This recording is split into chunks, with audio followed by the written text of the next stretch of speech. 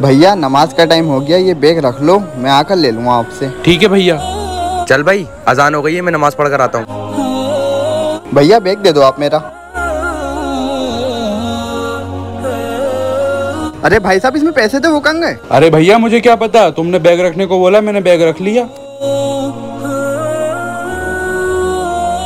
भाई तूने भैया का बैग लौटा दिया क्या? हाँ भाई लौटा दिया और ये देख उसके बैग में से इतने सारे पैसे भी निकाल लिए। भाई तुझे नहीं पता।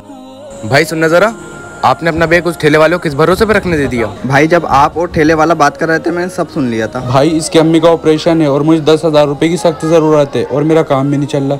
समझ नहीं आ रहा क्या करूँ। भाई तू सबर कर अल्लाह सब ठीक कर देगा। भाई मैंने सोचा बैग की हिफाजत के बहाने से उसकी कुछ मदद कर दूँ। तूने अपनी हलाल कमाई को हराम की कमाई में बना लिया। तेरी गंदी नीयत की वजह से तेरा धंधा नहीं चलता इसलिए तू हॉस्पिटल में पैसे भरता रहता है।